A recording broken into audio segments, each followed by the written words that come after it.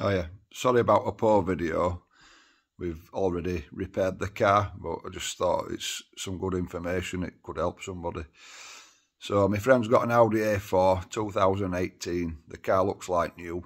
Last week, his electronic handbrake stopped working. And his handbrake switch were just flashing red. So I plugged the code reader in and it brought up faulty handbrake switch. So then he bought a new switch. We plugged it in and it was still the same, no difference. So then I worked out where the wiring runs from the switch and it goes from the handbrake switch straight to your ABS pump. So then on the A4, there's an ECU you have to unbolt and move out of the way to get access. we unplugged the ABS plug.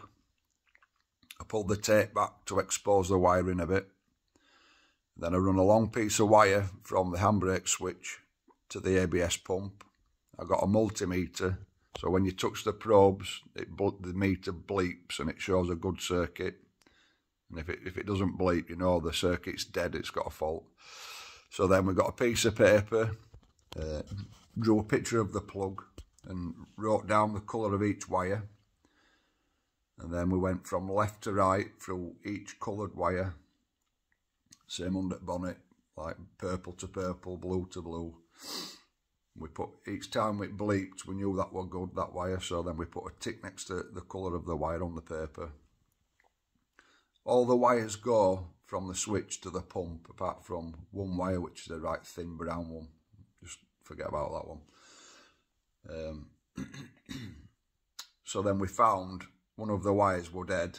So then we got that temporary piece of wire, we pulled the casing back, we twisted it onto it, same on, under bonnet, twisted it onto set onto wire. We plugged the switch back in, plugged the um, ABS pump back in, and it solved it. So that proves that there's an actual break in that loom somewhere. Audi wanted £900 to sort the wiring problem out, which is a lot of money, as you know. But they also said it could possibly be a new ABS pump, which I'm sure he were quoted two and a half grand or three grand for a pump. So we basically saved him a minimum of £900. I've just got a feeling this could be a common issue, especially on Audis. Might work with any any car with ele electronic switch if it brings up a faulty switch. so then next step, we put a new piece of wire in, soldered it to handbrake switch. We run it under the console, through the bulkhead, followed the existing wiring loom taped the new wire on underneath. We snipped the ABS, the dead ABS, uh, we snipped the dead wire to the ABS plug.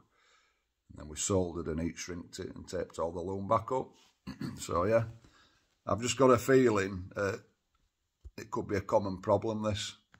Either part of the loom's tight or rubbing somewhere, but they shouldn't be breaking at that age. So if you find you have the same problem when you plug a code reader in and it says a faulty switch, test the wiring, and if you find you had the same fault and it, it solves your issue, uh, be interesting to know how many other cars get this fault. Um, if you could leave me a message, please. Hope it solves your issues. Cheers.